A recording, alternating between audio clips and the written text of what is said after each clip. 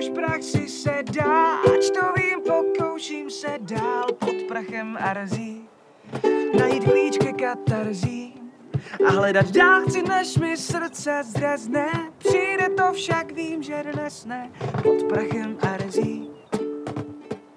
Najdu klíč i k tobě. Tak to je dost lepší, než jste říkali, amatérský hraní. To si hodná, ale myslím, že my moc dobře známe svoje limity.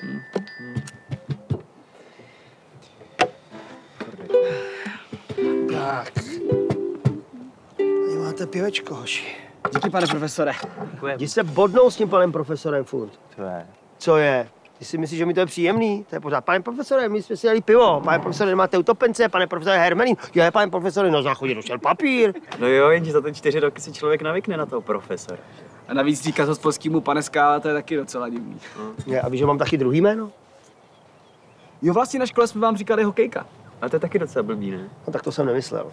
Já jsem Marek. Petr. No, Lukáš, čau. čau. Tak na zdraví. Čau. Tak na vaše, pánové. To je stejně nejlepší věc na světě. Co?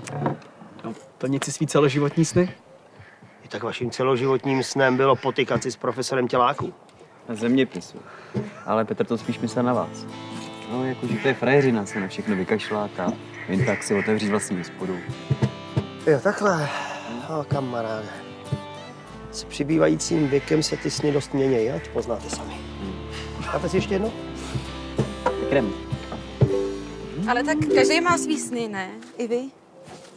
Jasně. No, mým snem je momentálně svět bez telefonu, nebo aspoň bez SMSek. Přítelkyně? Máš nějakou oblíbenou písničku? Tak vzhledem k tomu, že se jmenuji Johana, tak mám ráda jednu, která se jmenuje stejně jako já od Bobbyho Mekyho. A tu nikdo nezná.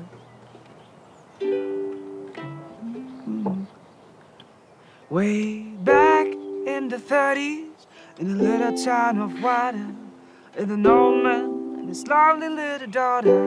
Kecej, ty fakt znáš, to není možné. Gambling for a living was the best place around. And the men would come and lay their money down.